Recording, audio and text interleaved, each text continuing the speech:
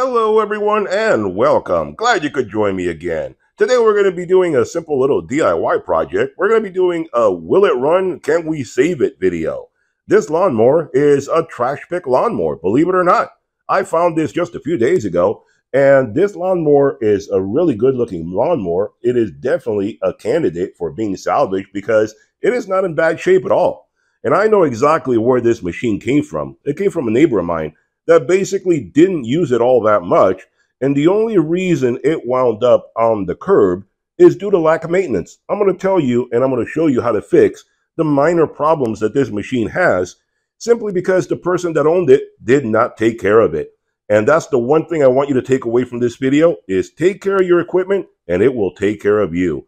There's some minor things we're going to fix on this machine, but let me tell you a little bit of back history about it, and tell you a little bit about the machine itself.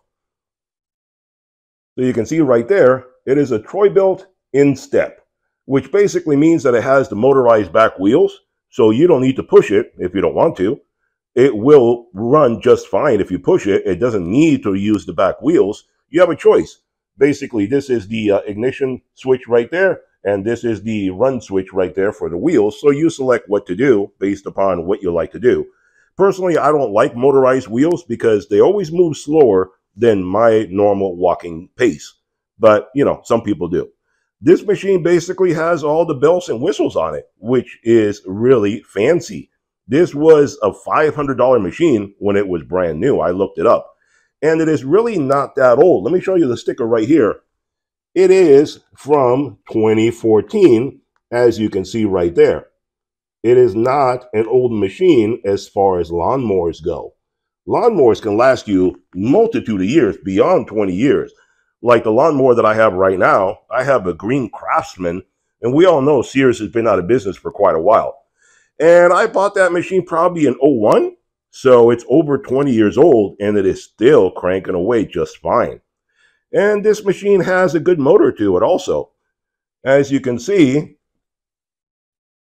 it has a Briggs & Stratton motor. And I've always had very good success with Briggs & Stratton.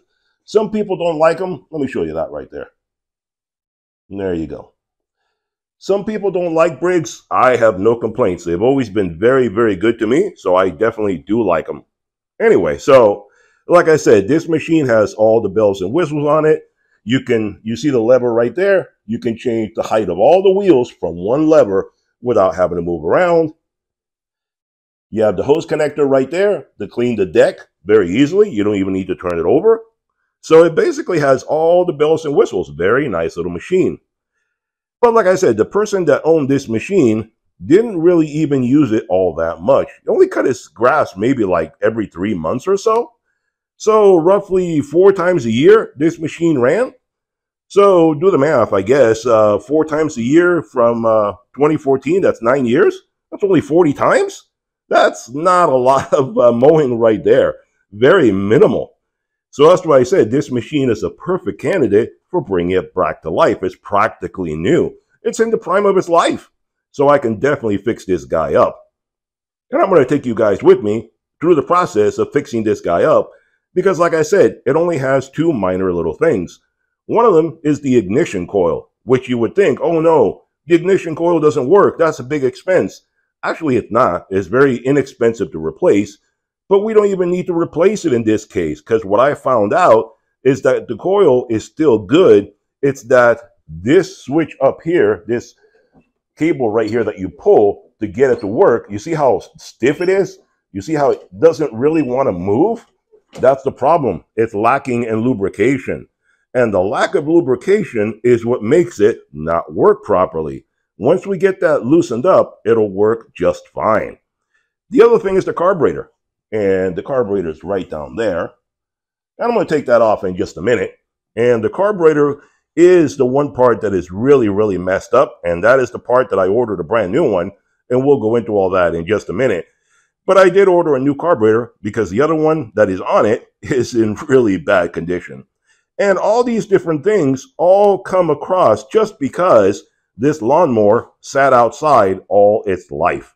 It was never stored away in a storage shed or something. And that's one thing, take away from this video, one thing at all, store your equipment in a nice, safe, dry place. The weather, the water, all that kind of stuff, it will ruin your machine. And like I said, this is a $500 investment. To have it ruined so quickly just because it sat outside, that is terrible. So after nine years, this machine is ready for the crusher. That's just no good at all. So let's get into this guy. I'm going to take off this top cover right here. Let me get a screwdriver, take that off, and I'm going to show you exactly what I mean as far as the coil. And then we'll take the carburetor off, and I'll show you exactly what went wrong with that. And all these problems, like I said, are weather related, mostly water related. The water gets into everything and ruins it. So let's get started. All right, guys, well, let's take a little closer look at the ignition problem, and we'll get that taken care of first, since that's the easiest one. So to take this off, there's a couple little screws right here. Take those off, and then you got to take this cover off. There's a couple of nuts holding it in place. Just get yourself a nut setter. Take this off. This comes right off. This comes right off, and you have the entire engine exposed right there, and you can do whatever you need to do. So we'll put these aside for right now. And the problem is right here. This is the coil, but that's not really a problem. You see how it's a little bit crusty, a little rusty? That really doesn't matter. It does not affect the functioning of the machine itself. Let me pull you in a little closer and I'll show you exactly what I'm talking about. All right, guys, well, now that we have the engine opened up and you can see a little bit better, this is the coil right here. And it may sound intimidating, but it's not. This is what creates the spark so that the spark plug, this is the cable for the spark plug, the spark plug is over there so that the spark plug will actually burn the gasoline in the combustion chamber. Very simple indeed. So how do you know if this guy is good or bad? Very simple process actually to test that. What you do is you take the spark plug out and crank it over and you'll see if you have any spark at all. If you don't have spark, come back here to the coil and take this little wire off of it because this is the kill switch right there. And that is what grounds it out so it will not work. So you remove this wire from the coil and then try to start it again. If it doesn't start, the coil is bad. If it does start, the coil is good. And all you do is have a problem with this wire grounding out somewhere. Or, like I said in this case, where that cable, which is back over here, I'll show you that in a moment, that cable pulls a little lever which connects to this cable right here. And that is what causes it to ground out. And that's all that's wrong with this because I already tested it doing that procedure that I just mentioned. The coil works, but it doesn't work when it's hooked up because it's grounding out. So let me show you what I'm talking about back there. All right, so this contraption that you see in the center of the screen is what controls the grounding out of the ignition switch. And this is what would prevent you from starting the machine if you had a problem. See, right now it's in the off position, but I'm going to pull on the handle, the red handle that I showed you previously. And you see it's supposed to go all the way back, but you see it doesn't. And that's the whole problem right there. It doesn't go all the way back because it's binding up a little bit of lubrication will help this problem and allow it to go all the way back and solve that problem. So let me lubricate that a bit. So all you do is just a little WD-40 or something like that, shoot it right there into the cable itself. And this is something you should do every so often, a little bit of maintenance right there, and you'll be good to go with no trouble at all. And then, obviously, a little bit more at the top of the cable and that will make it a little easier for it to go. But right there, I can already feel that it's moving so much more freely and a little bit more work, and it'll work even better than that. And obviously, also one thing also is that if it still doesn't go back far enough, then this can be adjusted on the top of the cable. You can take out some of the slack because maybe over time, due to the fact that it was binding up, it could have stretched out the cable a little bit. So we'll find out which one is the problem later on. Right now, I'm just going to lubricate it and see if that takes care of it. If it still doesn't, then I'll just have to adjust the cable. But you see how easy this is. It's right on the back of the machine. It's actually fully exposed. Little lubricant right there every so often. Touch that up and you'll save yourself a lot of headaches. All right, guys. So I have the lawnmower lifted up so I can work on it more easily. And I'm going to set up the camera so you can see what I'm doing in a moment. But I just wanted to point out for you guys that don't have this, if you don't have one of these 500 pound or 1,000 pound hydraulic lift tables, you should really consider getting one if you do this kind of work on a regular basis, or even for lifting up heavy things. It's really convenient. Like right now, I mean, I'm going to work on this at a very convenient level right here, standing, where normally if I didn't have this table, I'd have to be working on it on the ground, which is a real backbreaker once you start getting a little bit older, like I am. So I lifted this guy up and we're going to take out the carburetor, which is right under there. I'm going to show you how to do that in just a moment. And on top of it, I have a brand new one that I just got, and I'm going to tell you all about that because I got a really good deal on that. So let me set up the camera, and I'm going to show you guys what I'm going to do. All right, guys, so I set you up a little bit better so you can see exactly what I'm going to be doing here. So we took care of the ignition problem, which was the no-cost option. That was easy peasy, took care of that out of the way. Now we're going to take care of the more complicated and slightly more costly problem because we're going to replace the carburetor on this one. Now, a lot of times you can get away with just fixing it in some way, depending on what the problem is. Sometimes it's just dirty and you clean it. I've done that in previous videos. This one, I took it apart previously and it was so bad I decided to replace it. I'm going to dissect it a little bit later in the video. I'm going to show you exactly what was wrong with it. Anyway, so to get into this guy, you take off the air cleaner first. That comes off. Then you take off the filter. And then we get into this contraption first. And that just has a couple of nuts right here. Just take a nut setter and you just unscrew it and it should come right off. And like I said, the problem with this one is that the needle and seat are so badly corroded by water getting into the carburetor that I did not feel comfortable just cleaning it. I think it's going to have problems. It's going to start overflowing. The gas is going to leak all over the place. I just didn't trust it. So I decided to replace it. And what I did was I got this carburetor right here. Let's make sure it looks the same first before we start digging into it. And it seems to be pretty much identical. So that seems to be a good bet right there. Wanted to make sure it was the right carburetor before I start taking it apart. Anyway, so I got this carburetor at a bargain of a price. I got it for under 10 bucks, if you can believe that, which is the reason I decided to do this because at 10 bucks, I can certainly afford to spend that. Now, this is not an OEM. I looked up what an OEM Briggs & Stratton carburetor would be, and that was around 65 bucks, which is a little bit pricey for a junky machine. Now, if this was my machine and I knew the entire history of it, the maintenance, and I knew it was in good condition, uh, OEM might not be a problem. But considering it's a junky mower and I'm going to try to bring it back to life, I decided to go the cheap route. Now, I first looked this up on Amazon and eBay, and they were around 20, 30 bucks, something like that. Then I came across this place called hipastore.com, and they had these carburetors for under 10 bucks. And hipastore.com, what they do is they have, they basically have parts for all sorts of small engines, whether it's lawnmowers, snow blowers, uh, weed whackers, uh, generators, compressors, anything that has a small engine, they have replacement parts for it. And you see, I got the carburetor, and that came with the seals and everything, which is very convenient. Some of them don't bring that.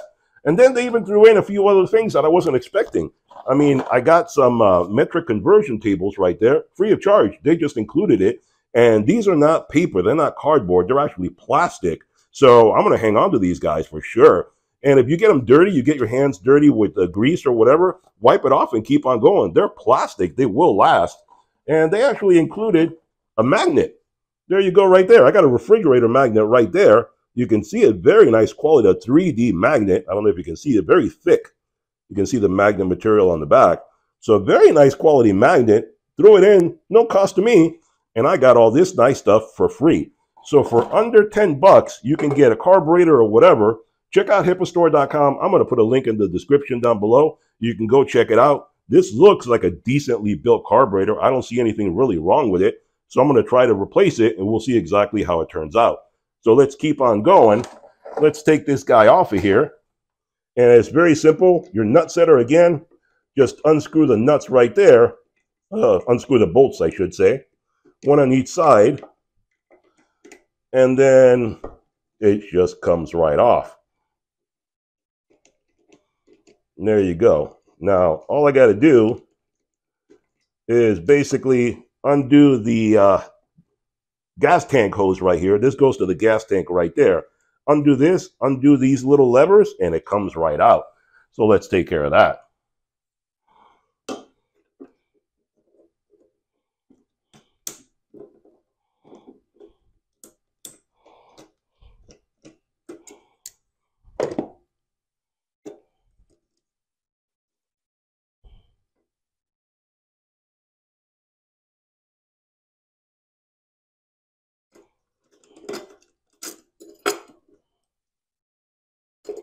Well, that gas line is really stuck on there.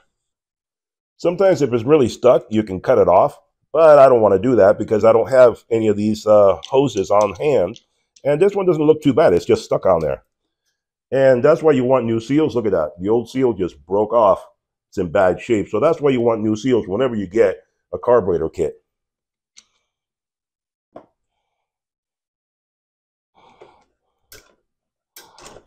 There you go. That makes it easier for me to move this around. There we go. That one's better. And then this one comes out there. There we go.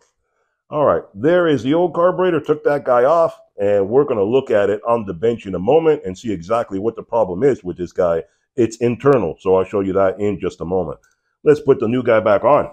All right. So I got the O-ring in place. That is a terrible design that Briggs came up with. Every time you push it in, it wants to pop back out. You put it in, it wants to pop back out. It's like you're supposed to put it there and then put the carburetor in place, which is rather annoying since you still got to tie some things onto this. So I basically got it to sit there and I'm going to squeeze it back in place with the carburetor right now. So that's a Briggs design. Has nothing to do with this carburetor kit. Briggs just put it so that it doesn't sit really well in there. It's supposed to sit there, but it wants to pop out. So terrible design from Briggs. Here we go some of these engineers come up with some really crazy ideas on things that don't really work out so much.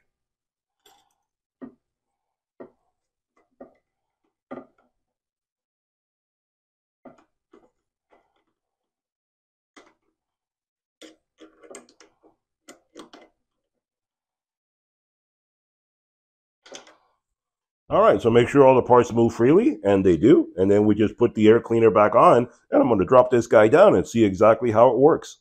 All right, guys, so before we move on and see if the repairs actually worked, let's dissect this little guy right here, which I know is a problem. That's why I replaced it. But this is the OEM carburetor right there. You can see the Briggs & Stratton stamping right there. This is the OEM one that I took off.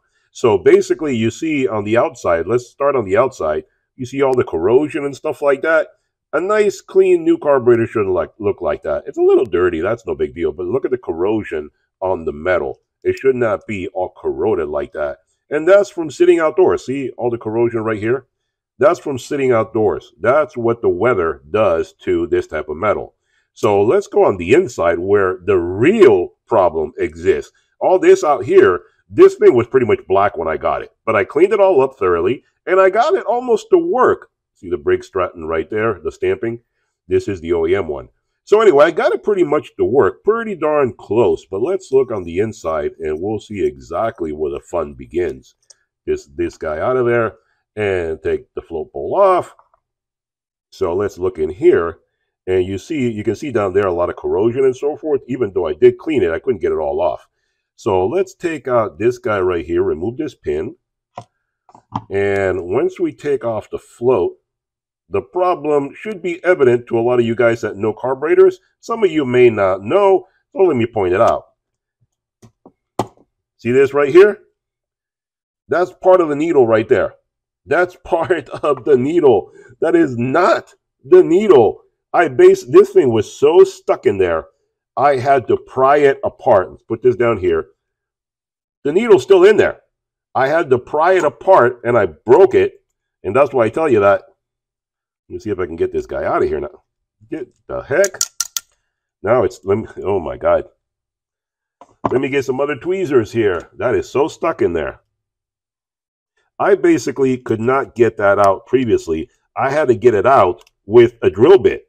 I had to drill it out because I could not get it to come out no matter what I did.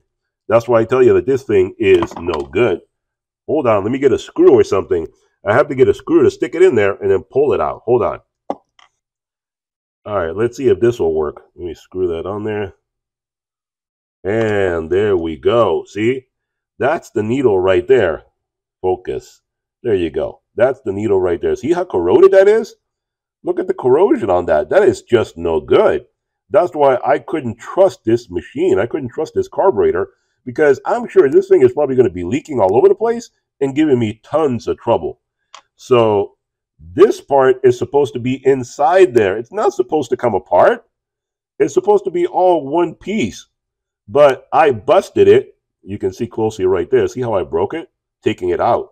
Not right now. Originally, when I first diagnosed this, I broke this thing taking it out. All this is supposed to be one piece. And you, you can't tell, but it, it is so corroded, it just gets stuck every time I put it in and it doesn't want to come back out. So this measures, meters, regulates, whatever you want to say, the fuel going into the carburetor. How can I trust this thing to really do its job going forward down the road? There is no way I could trust this thing to actually perform properly. It is so corroded that, like I said, it was fused. Let me show you. It was fused to the inside of that thing.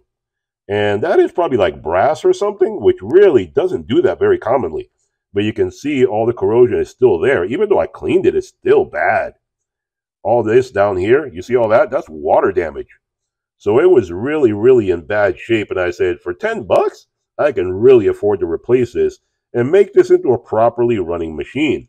So that's why I said, for 10 bucks, Hipastore, that's a bargain.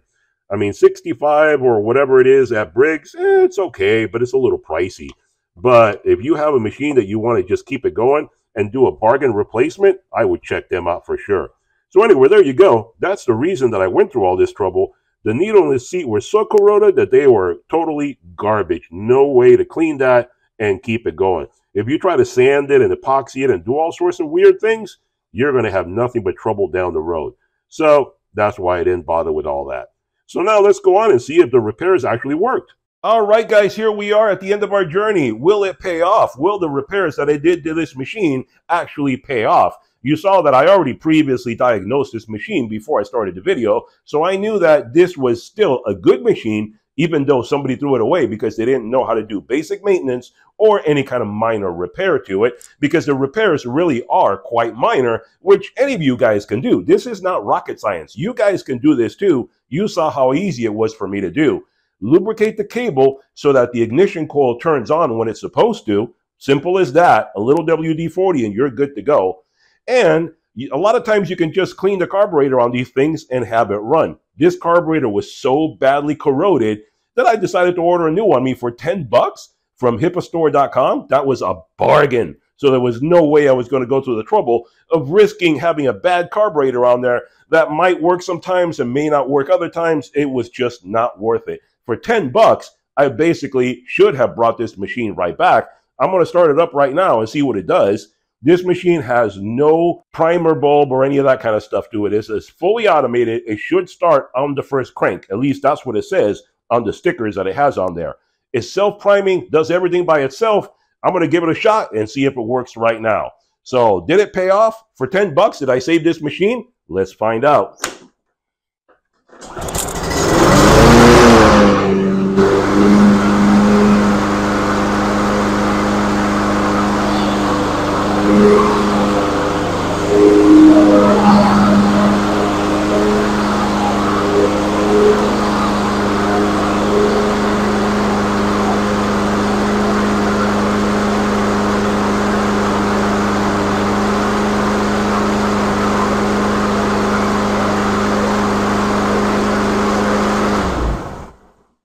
Right, guys, there you have it. I fixed it really, really economically. And by the way, I obviously put gas in it and I did put oil in it in case you're wondering. So it's not going to burn itself up. It is running properly. I checked everything before I decided to crank it over for you guys. So therefore, you saw right there, the moment of truth, everything paid off. For 10 bucks, a brand new carburetor and a simple lubrication, I have a brand new mower right now that I'll keep or I'll either donate to someone. I don't know what I'm going to do with it but very, very simple repair for a very nice machine from Troy-Bilt. And you guys can do this repair yourself. It is really easy to do. So I hope you enjoyed the video. Hit that thumbs up button if you enjoy DIY projects like this. Hit that thumbs up button, hit that subscribe button, and I'll see you guys on the next one. Bye-bye for now.